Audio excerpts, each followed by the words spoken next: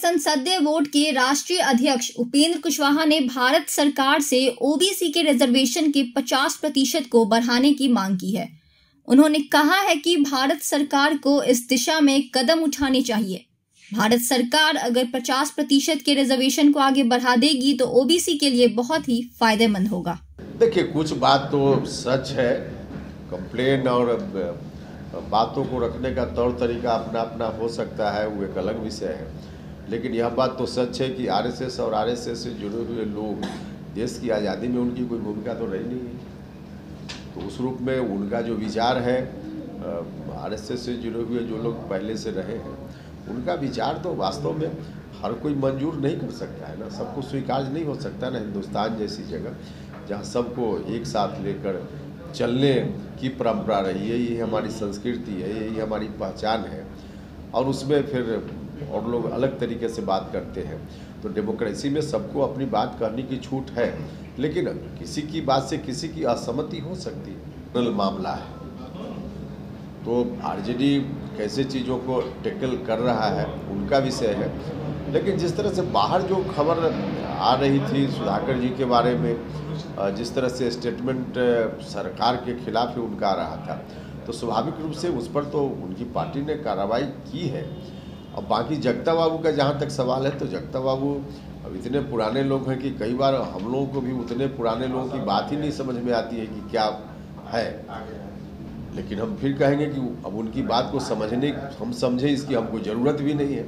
उनकी पार्टी का मामला है। पार्टी में जो कुछ भी होगा उनकी पार्टी करेगी। जगतानंद सिंह यदि प्रदेश अध्यक्ष नहीं रहते हैं तो उसका असर महागठबंधन पर पड़ेगा। नहीं नहीं वही तो प्रदेश अध्यक्ष होगा। इसलिए उसका असर पड़ेगा जैसा क्या होगा उसमें। अब हम नहीं कह रहे कि वो रहेंगे कि नहीं रहेंगे वो तो उनका विषय है ना। हम अभी से क्यों मान लें कि वो नहीं ही रहेंगे? तो आरजेडी को तय करना है। लेकिन जो कुछ भी होगा आरजेडी का डिसीज़न होगा हम लोग तो गठबंधन के पार्ट है ना। तो जिस पार्टी में सदस्यों की संख्या ज़्यादा होगी भीड़ ज़्यादा होगी तो थोड़ा दृश्य इस तरह का दिखेगा। लेकिन उसके लिए सिस्टम है कहीं कोई कंप्लेन किसी के पास है तो कंप्लेन करने की जगह है। वहाँ लोग कंप्लेन कर रहे हैं करें और फिर निदान होगा। उसकी चुनाव लड़े उसमें क्या दिक्कत है? जो सर गोपालगंज में ए आई एम आई एम के द्वारा वोट काटा गया। क्या लग रहा है मुकेश सहनी कुड़नी में यही काम करेंगे? देखिए हम कोई अलग से स्पेसिफिक किसी पर नहीं कहेंगे हम जनरल कहेंगे कि आम मतदाताओं को आ, सिर्फ़ और सिर्फ़ देखना चाहिए कि क्यों हम वोट कर रहे हैं। और वोट करने के लिए डेवलपमेंट का काम है। नीतीश कुमार जी का नेतृत्व है। समाज के सभी वर्ग को लेकर के नीतीश जी चल रहे हैं तो उसके आधार पर लोगों को मतदान करना चाहिए। बाकी कोई पार्टी जा रही है तो जाएगी। प्रचार देखिए चुनाव प्रचार में तो नीतीश जी जाते ही रहे उपचुनाव में। अभी जो उपचुनाव हुआ था उसमें तबीयत नहीं ठीक थी उनकी तो उस कारण से नहीं गए। उसके पहले के चुनाव में तो गए ही थे कुशेश्वर स्थान तारापुर तो आवश्यकता अनुसार यहाँ भी ज़रूरत होगी तो जाएँगे। हाँ तो देखिए, कोई भी पॉलिटिकल पार्टी है तो उसका हक है, स्वतंत्रता है उसकी।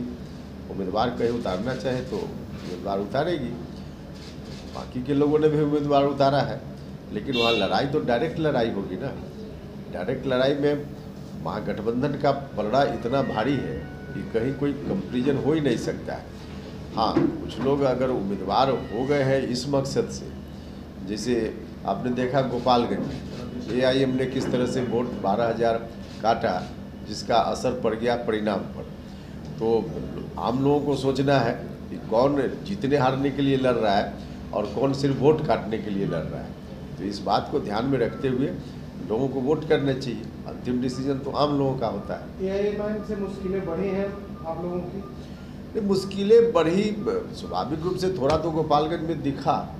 लेकिन हर जगह उस रूप में मुश्किल होगी, ऐसा हम नहीं मानते। और कुरहनी में जिस तरह से मतदाताओं का समीकरण है, उसके आधार पर महागठबंधन के सामने कोई चैलेंज नहीं है। लेकिन फिर भी एक एक वोट हमारे पक्ष में हो, अधिक से अधिक मार्जिन हो, इस बात के लिए तो आम लोगों से हम अपील करेंगे ही। देखिए, आईटी हो या सीबीआई हो या ईडी, मैंने जो जो केंद्रीय एजेंसियाँ हैं, जो छापेमारी अभी बिहार में चल रही है, हमें तो पूरा लगता है कि जो भाजपा है, भाजपा विपक्षी को अपने जो विपक्ष है, उसको दबाव बनाने के लिए और विपक्ष को तबाह करने के लिए ये सब हो रहा है। अभी देखें कि हाल के दिनों में, जुलाई के महीना में भारतीय संसद में जब ईडी का कुछ वर्षों का क्रियाकलाप का रिपोर्ट पेश किया गया जिसमें ईडी का पाँच, चौवन सौ बाईस केस में, मात्र के तेईस केस को सही पाया गया। यानी ज़ीरो पॉइंट फाइव प्रतिशत से भी कम।